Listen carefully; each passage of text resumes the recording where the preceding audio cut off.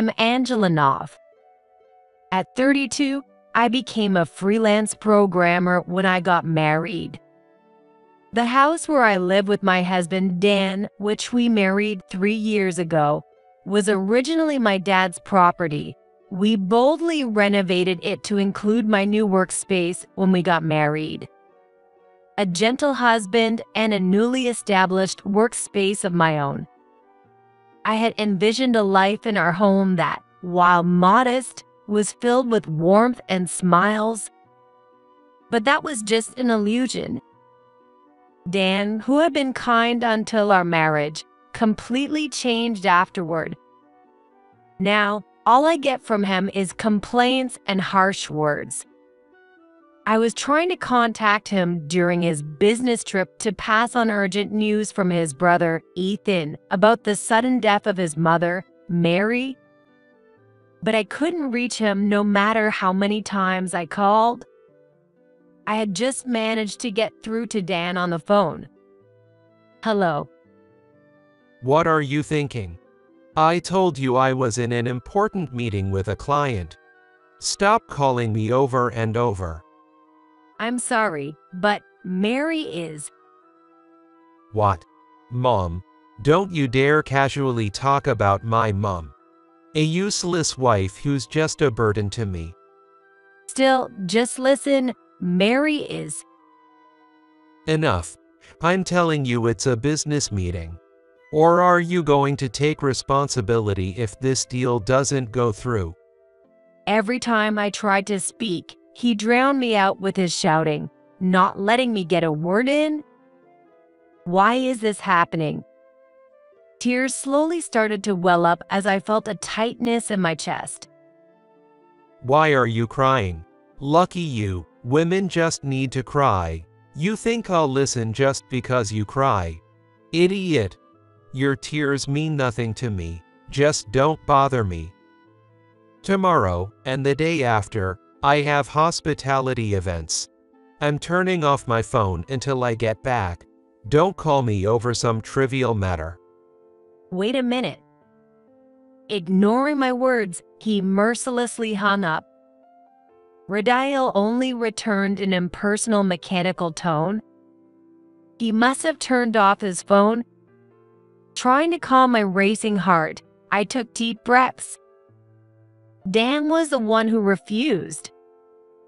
Desperate to get my point across. I have to go alone now. I'm going to your parents' house. Leaving that message unread on his cell phone, I hurried to Dan's parents' home. Dan and I met through his sister, Emily. I was still in touch with my high school friend, Emily, even after graduation. One day, while I was still working at a company, I ended up getting involved in a project at Emily's company, and we coincidentally reunited there. At that time, Emily was with Dan. Is that Angela? I heard a reserved voice calling from a distance. Wow, Emily? Wow, why is Angela here? Haven't seen you since the reunion two years ago. Right? It's been so long. How have you been? Good. Just getting by every day. Angela, this is my brother, Dan. Unfortunately, we ended up working at the same company. Looking past Emily, I saw a man smiling at our conversation. That was my first meeting with Dan. He was slightly older than us, with a calm demeanor his stylish three-piece suit and sharp eyes were striking. Hey, Emily, you followed me into this company on your own. That's on you. Sorry, I'm Dan North. Emily always talks about how much she owes you. I'm Angela Brown. Emily and I have been friends since high school. I remember Emily mentioning you back in high school. She said there was this incredibly talented and nice girl from a good family she admired. You're exactly as I pictured from her description.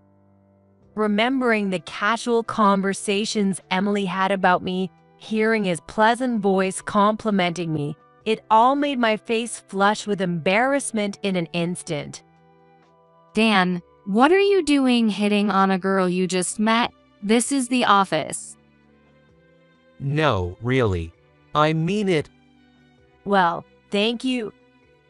I replied somewhat awkwardly, to which he responded with a gentle smile. By the way, Angela, do you have time? Oh, no, shoot, I have to go. Sorry about that. My brother can be a bit intrusive. That's not it. But sorry for taking your time.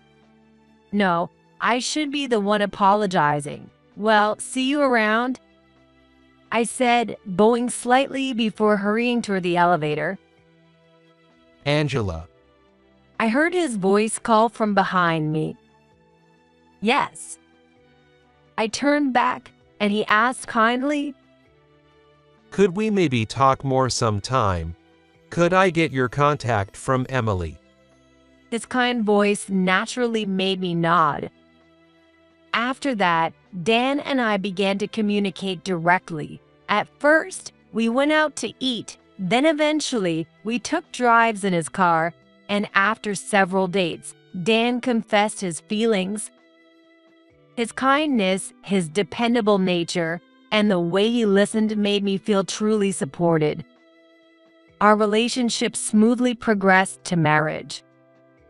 Both families were overjoyed, especially Emily, who became my sister in law, and Mary, my mother in law, who wept with happiness.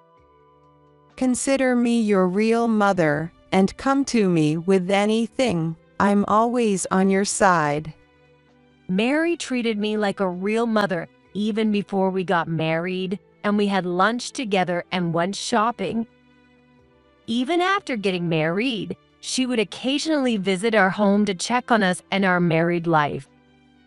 Our newlywed life began in the renovated house I mentioned earlier, once owned by my dad. I lived in this house when I was little, and it holds so many memories with my mom. I'm so happy to be able to transform it and live here with my new family. So, you lived here until you were 10, right? Yes, we moved to the main family house after my grandfather passed away so my dad could take over. I have memories in our current family home, too, but the memories from my childhood feel more special somehow. The roses in the garden were my mom's favorite, and I cherished eating the lunches she made for me under their full bloom. I hope to one day share similar scenes with my own children reminiscent of those days with my mom. As we talked about having children from early in our marriage.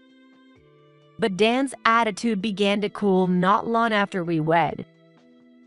You're home all day, and dinner's still not ready. You're too inefficient. And the shirts, you better iron them every day. No slacking. What? This is all you made for dinner. This looks like animal feed. I'm not eating this. Order something from Uber Eats. You have it easy, working from home without the daily commute. You live in a sweet world where you can work and make money comfortably. These harsh words were even tossed at me in front of Mary, who was visiting our home. Of course, Mary was furious and always scolded Dan for his behavior. What are you talking about? Working from home isn't easy at all. Unlike office workers, freelancers have to secure their own work. You should know how hard that is. You're in sales yourself. Apologize. This kind of scenario was a daily occurrence. I'm sorry, Angela. Since our family was a single parent family, he has become arrogant. Dan's family was the opposite of mine. It was a single parent home run by his mom. My family became a single parent family after my mom passed away when I was in high school, whereas Dan's parents divorced when he was in middle school. Mary had been working alone to raise three children since then. Besides her full time job, she also freelanced for a friend's company, deeply understanding the challenges of working as a woman and freelancing. No, compared to what Mary has been through, my troubles are nothing. Maybe he's just experiencing cold feet about our marriage. But that's no excuse. He's an adult. He needs to manage his own moods. Especially if you have children, it's going to get even harder for you. You need to teach him now. Mary always confronted Dan firmly when he did wrong. Yet, despite her efforts, Dan's coldness only accelerated, culminating in the moment I miscarried our child. Was it because I had been working? Should I have been more cautious? Did I eat something strange? Was it because I drank something cold? I blamed myself over and over, overwhelmed with sadness. I couldn't even muster the strength to sit up or eat. Naturally, I neglected our home. Dan had started traveling more for work even before the pregnancy, often leaving the house empty, which worried Mary. She stayed over to help and support me. Angela, it's okay to cry. There was a life inside you, no matter how small. It's natural for a mother to grieve when her child is lost. Mary, thank you. It's normal to feel physically drained. I'm here, so it's going to be okay. Let's slowly get your strength back. She said so and hugged me. As I wept uncontrollably in her arms, Dan, just back from his business trip, looked at me with cold eyes. Are you still crying? Your body wasn't fit for pregnancy. It's your own fault. It happened because you were too busy working freely. You were disqualified as a mother. Dan's cutting words tore through my heart, feeling like shards piercing through me. As my tears wouldn't stop and my body shivered uncontrollably, Mary held me even tighter. Dan, enough already. You got nothing to do with this. What joy do you find in hurting someone who's already hurt?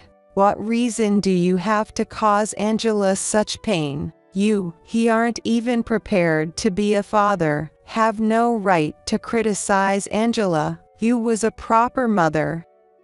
Mary's voice, frighteningly low and unlike anything I had heard from her before, echoed in the quiet room. Realizing his fault, Dan clicked his tongue and stormed off to his room. Slam. The door slammed with an unnecessary force, making me feel as if my heart too had been shut down.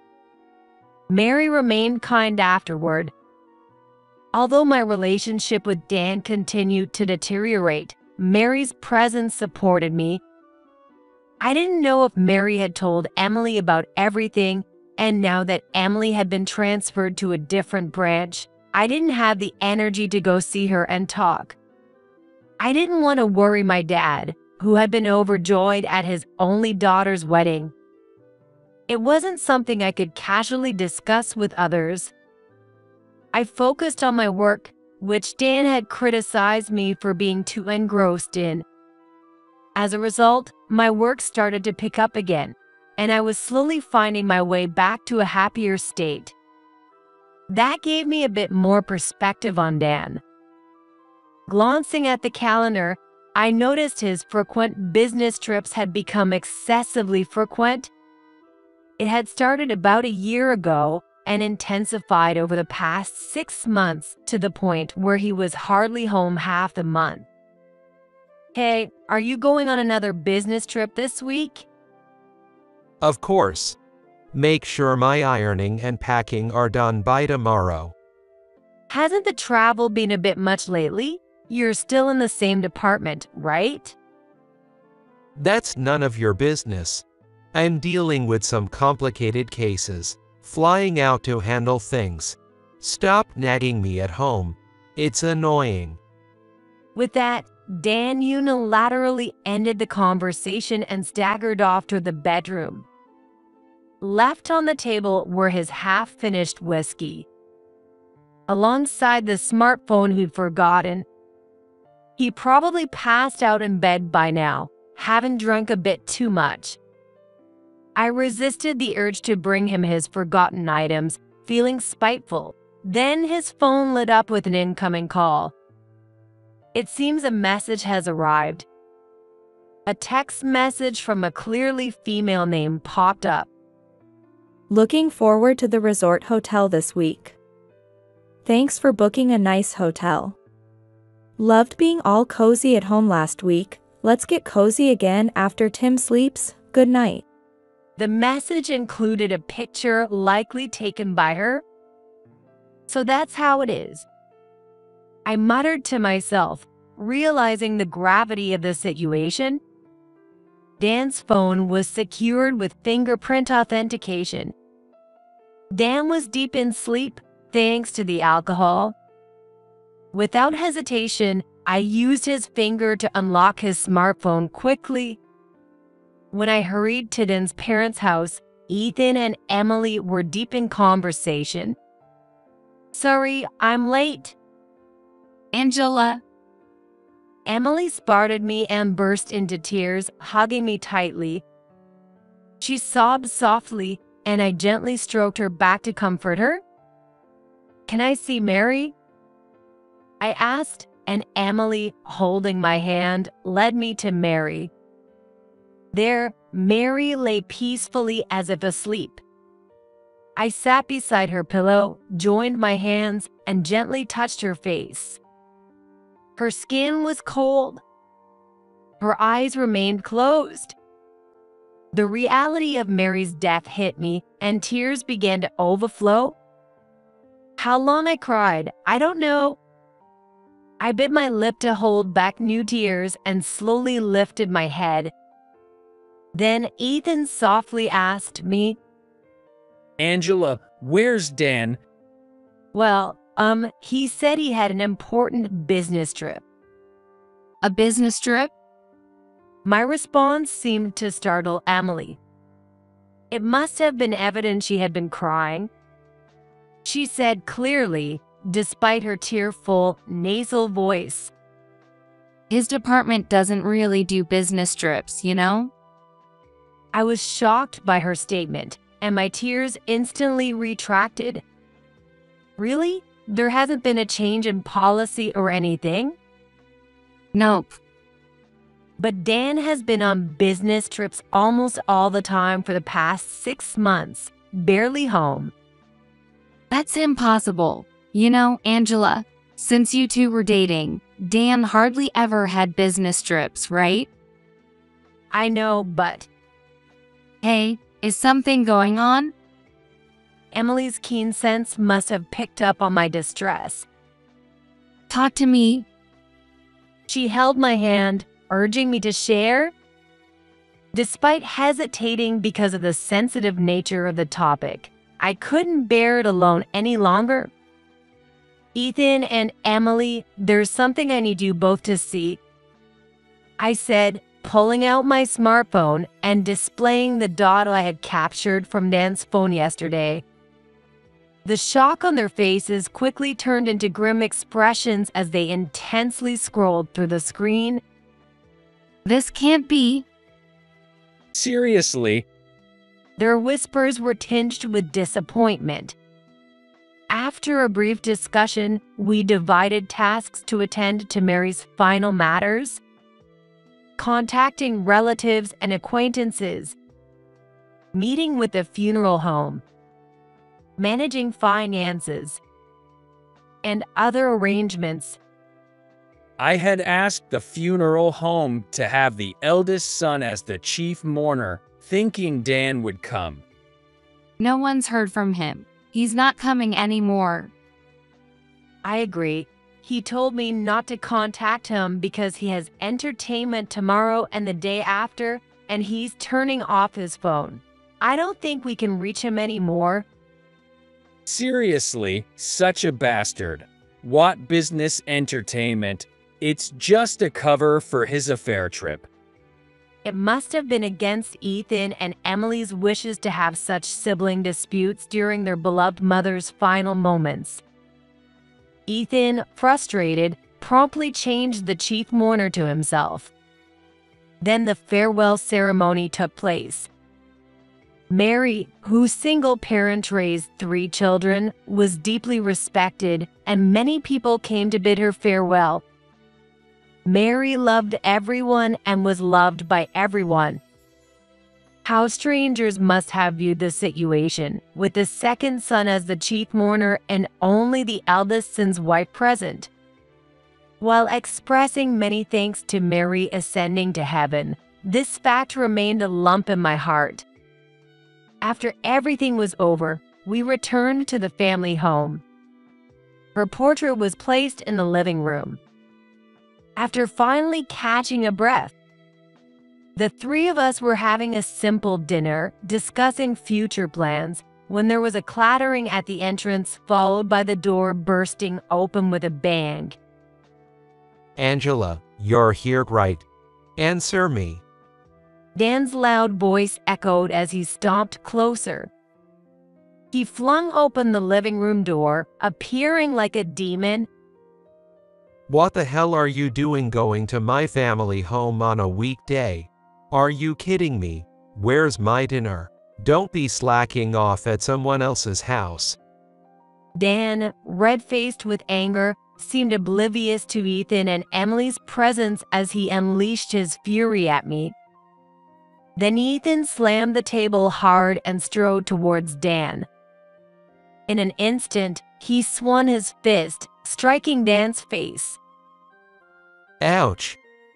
As he groaned, Ethan grabbed the back of Dan's neck and leaned in, shouting, Don't mess with me. You have no right to yell at Angela.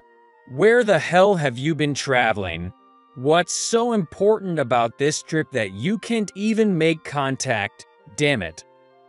Ethan's face was so close it seemed like it could touch Dan's as he yelled and spit flew. He tightened his grip on the collar even more, twisting Dan's face as his pain breathing grew louder. So, where have you been traveling?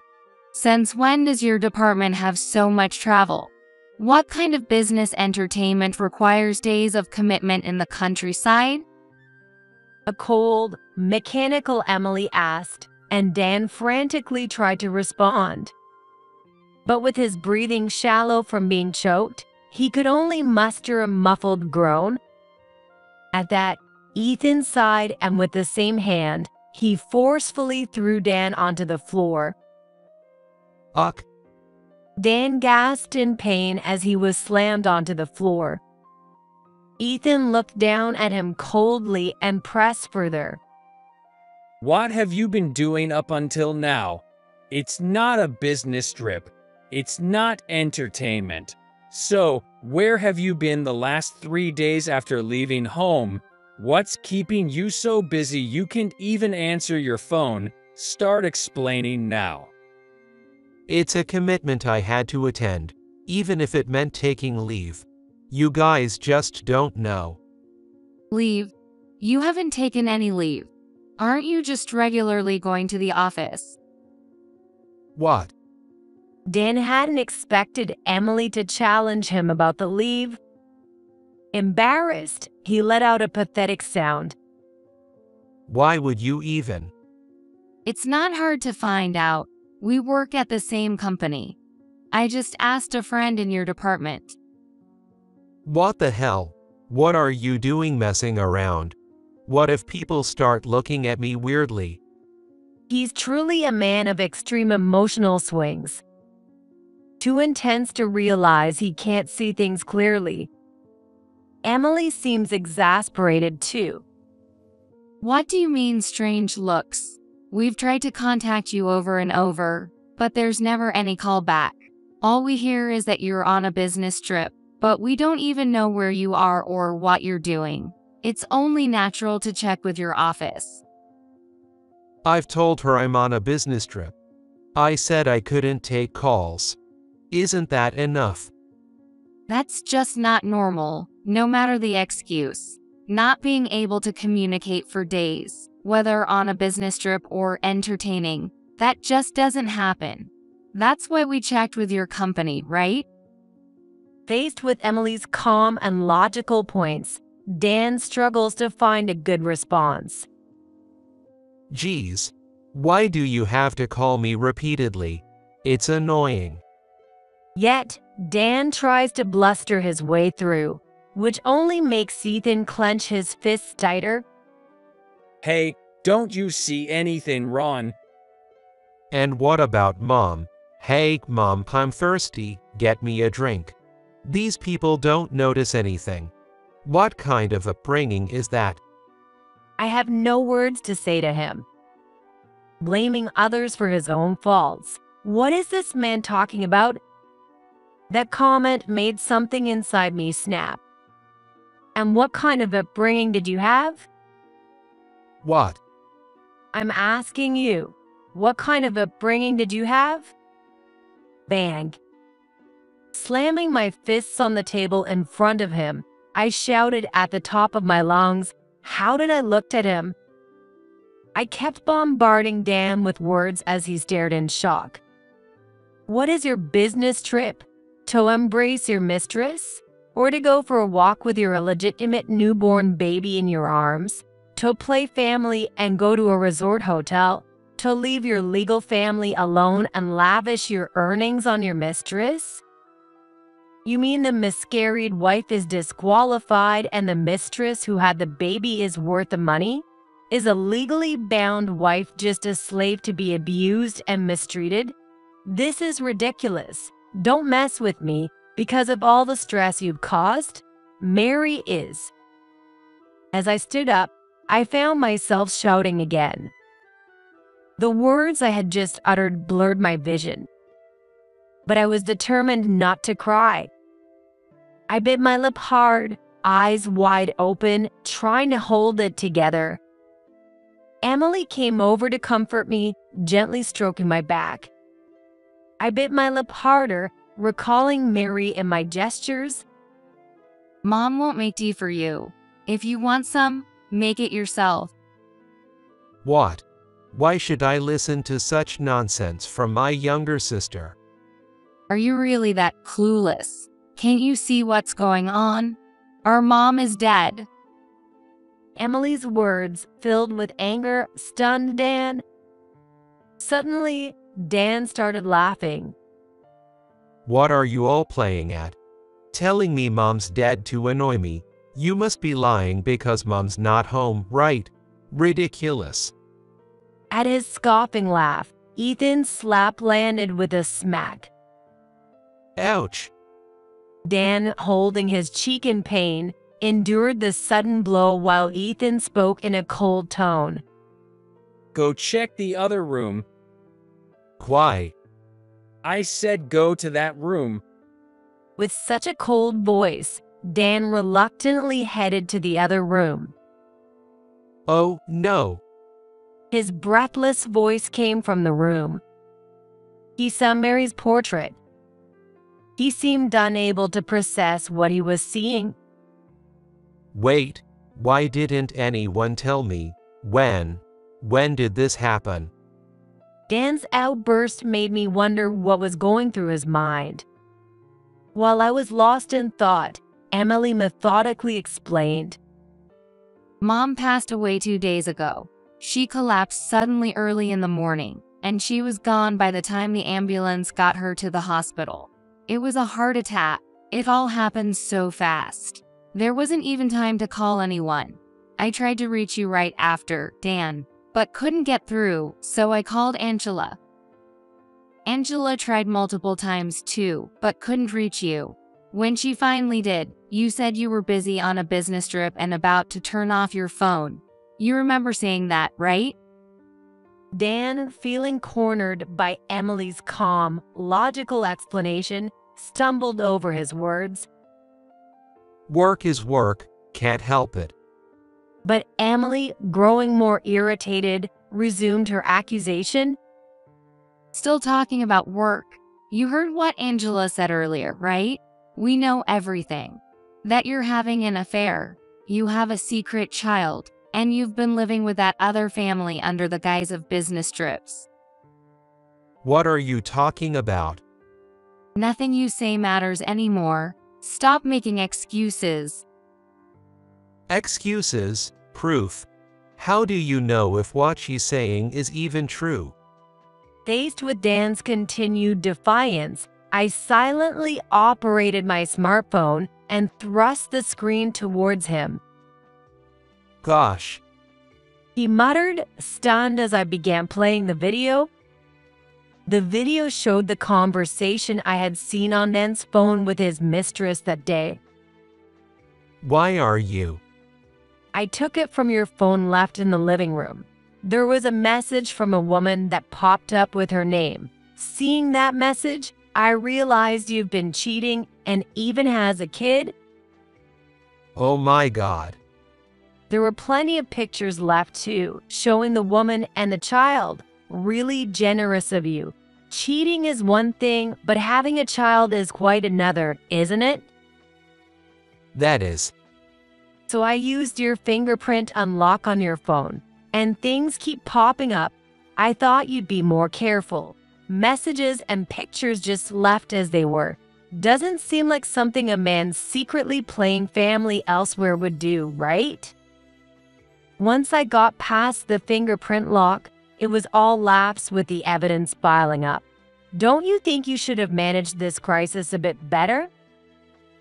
You wouldn't think it'd be seen. People who do such things usually act more cautiously. Were you too caught up to think straight, or are you just simple? Either way, you had no crisis management skills. Well, thanks to that, I got all the evidence I needed, so everything worked out. With Dan taken aback by my rebuke, Ethan added fuel to the fire. And just so you know, we've seen it all too. Emily brought back testimony from the company, and we've got it all sorted and documented. What? We've heard all about how you've treated Angela, really the worst. What you've been doing is outright domestic violence. Mom was really troubled by it. Did I go wrong in raising him? I feel so sorry for Angela. Mary, And on top of that, as the eldest son, you couldn't even be there for mom's last moments. We had to switch the chief mourner from you to Ethan, the second son. Everyone wonders why the eldest son isn't there, but his wife is. It's shameful, really shameful. Apologize to mom. Emily's anguish cry echoed powerfully. I'm sorry. Dan whispered softly, his thoughts some mystery. Even his somber expression seems nothing but a lie now. Mom left a will saying your part should go to Angela as compensation for the trouble you caused. Really? Mom left a will even though she was a single parent. Compensation. That's how much she regretted and worried about you. A grown man, and on top of that, you even had an affair. Don't ever come back here again. You're no brother of ours. The portrait of Mary on the table always showed her smiling like a flower. Two months had passed since then. Life had returned to normal. The only difference now was that I was living alone in this house. I was enjoying my newfound solitude. During that time, right in front of Ethan, Emily, and Mary, I presented the divorce papers to Dan. There was no way he could refuse under those circumstances. Reluctantly, he signed them, and the divorce was finalized. I told Dad everything after it was all over. If Angela can be happy, then I'm satisfied with that. With accepting words, I also received comforting ones. You should rely more on me. As for Dan, he seems to have quit his job. The reason was a conflict with his supervisor due to compliance violations. When I uploaded the images of the other woman to my phone, Emily remarked, She might be someone from our company. Emily got the woman's home address while she was on maternity leave by asking a friend at the company and confronted her. Showing her the video, she said, My brother's wife is my friend. Be prepared to take full responsibility. Naturally, the woman was speechless. She had only been with the company a few years and didn't know Dan's sister worked at another branch. Realizing the seriousness, she hastily quit the company. But the story didn't end there. Rumors swirled in the company about a single woman who abruptly left on maternity leave. Furthermore, Emily's investigation into Dan and the woman probably triggered it all. All the secrets came to light, causing a compliance issue in the company, and Dan was offered a transfer to a remote island.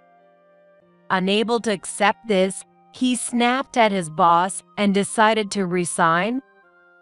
I don't know if the two are still together or have separated. I don't want to know, and I don't try to. Emily and Ethan feel the same. By the way, did you get the alimony from Dan and that woman? Emily is visiting me today.